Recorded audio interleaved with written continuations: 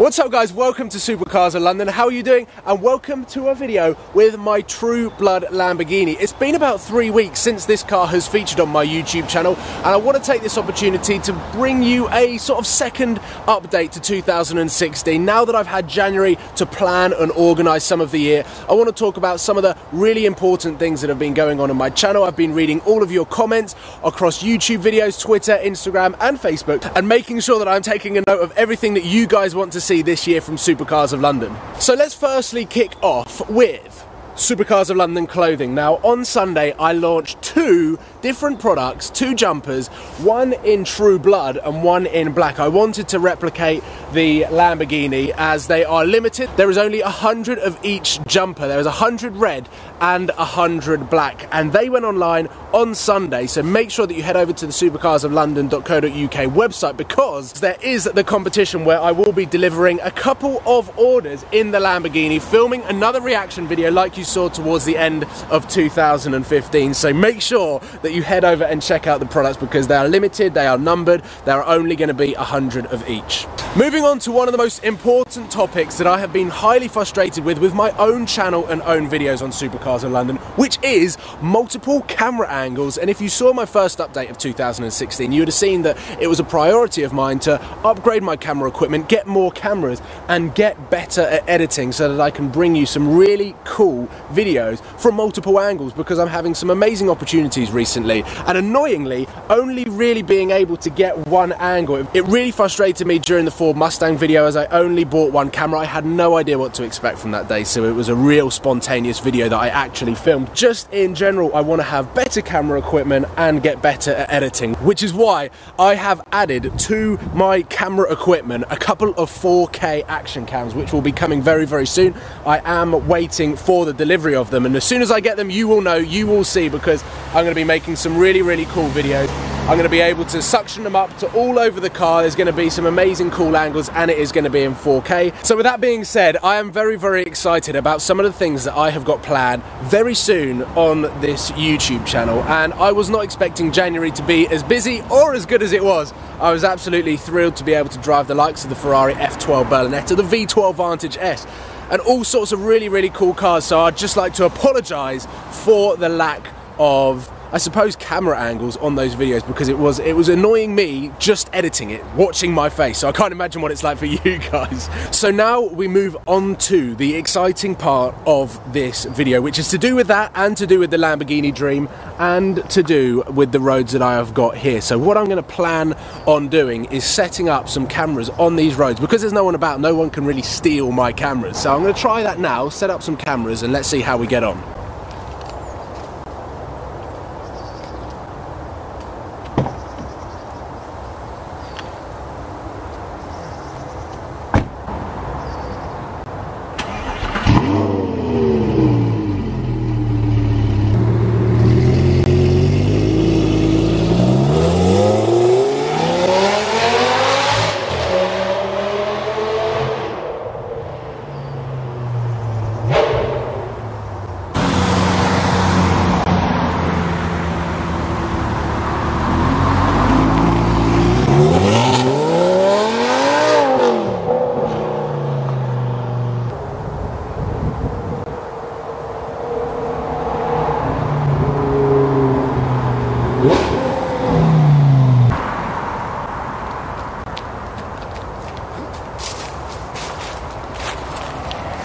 Okay, so we are now in the cockpit of the Lamborghini with a slightly different camera angle. I know I normally like stick it up here, but I wanted to try today and try and rattle us through points and really make an effort to get more camera angles. Even though I've only got two cameras, I'm gonna do my best to at least get used to having to change up the camera angle so that when I get these 4K action cams, I can really play around, find all of the good spots within a car that I can talk to the camera whilst I'm driving it without taking my eyes off the road. So let's start here.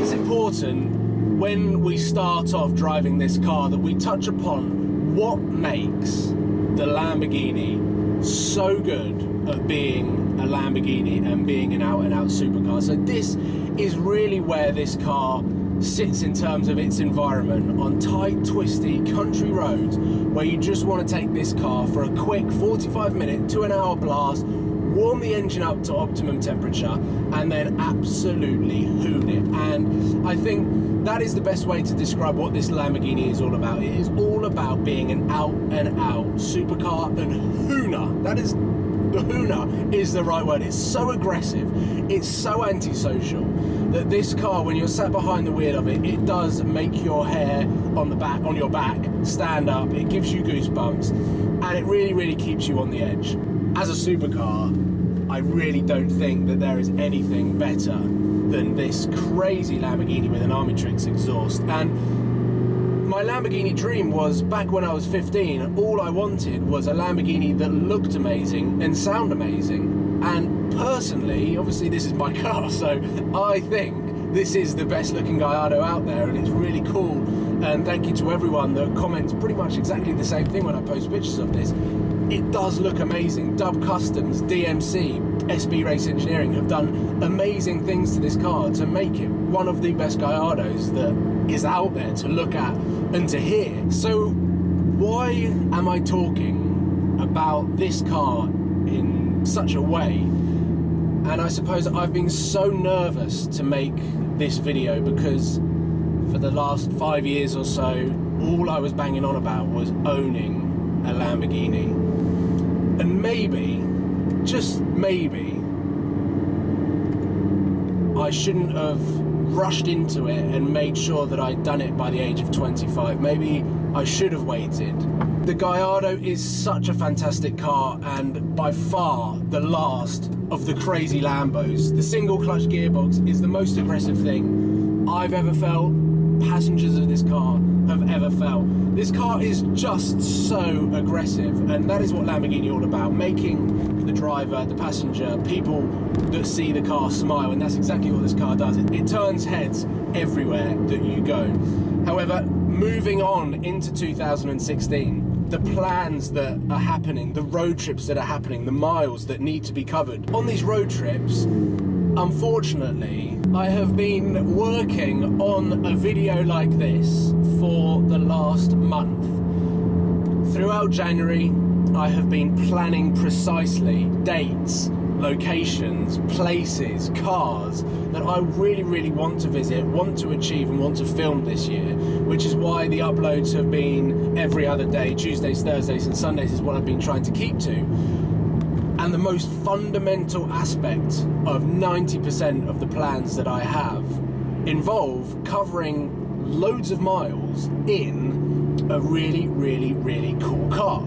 And as much as the Lamborghini is an incredible car, it sadly doesn't fit my personal criteria of what car I want to drive. And it is so difficult for me to say this. I mean, this is probably like my 20th take. We're about two hours into this video, me filming, trying to word it right so that it comes across right. And I can only ask you guys to be supportive of my decision of actually the Lamborghini dream has happened. I achieved the Lamborghini dream, but there might be better cars out there suited to what I want to achieve this year, what car I want to drive. And I've done the four-wheel drive R8. I've done the four-wheel drive Gallardo.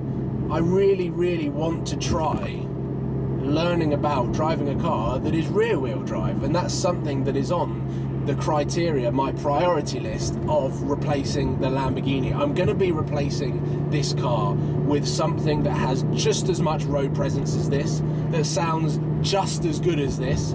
There's no way that I'm going to keep a car stock that I replace the Lamborghini with. But I want a car that has the, just the comforts of a 2015 2016 car, a place that I can spend and enjoy for over two hours. I'm going to be on the road quite a lot this year. So I need a car that can cover miles easily, but in comfort as well, that has all of the technology within this car. The likes of connecting just simple things like connecting my iPhone up so that I can listen to my own music through speakers. So, Oh my god, I'm just laughing because I'm so nervous. Double clutch gearbox, rear wheel drive, something that sounds amazing, that's got the road presence of a car like a Lamborghini, something that's customizable, and something that goes as fast as this. They are the most important factors, so if you have any suggestions, please put a comment in the comment box below. Hopefully you can support my decision. I know that it sounds absolutely crazy that I potentially am replacing the love of my life, the Lamborghini dream that I've been striving for for so long. And it's so good to just continue to challenge yourself and to continue to stretch yourself to the next goal. And I'm slowly coming to terms with what my next goals are. And with the road trips, with the adventures that I've got planned, that are going to make insane vlogs, they're going to be daily uploaded, and they are going to be covered so, hopefully, so well on Supercars of London with all of my new camera equipment that I just feel that it is right, it is the right time to replace this baby. So, with that being said, ladies and gentlemen, thank you so much for tuning in to Supercars of London. Thank you so much for supporting me, and hopefully, you can understand the decision that I'm having to make over the next two months. And please leave your suggestions in the comment box below. I look forward to reading all of your comments. I'd just like to say thank you again for watching. Make sure that if you haven't already, click the subscribe button and hit a thumbs up if you've enjoyed this video and you can't wait for number plates, cameras, and potentially a new car to come to Supercars of London. I will see you soon, guys. Cheers. I'm gonna just love every minute of it. So um, here we go. Let's jump inside this car and go for a drive. Right, I am now in the cockpit of the Aston Martin V12 Vantage S. Oh my god. This is the key, the glass Aston Martin key that I've been provided to slot in the middle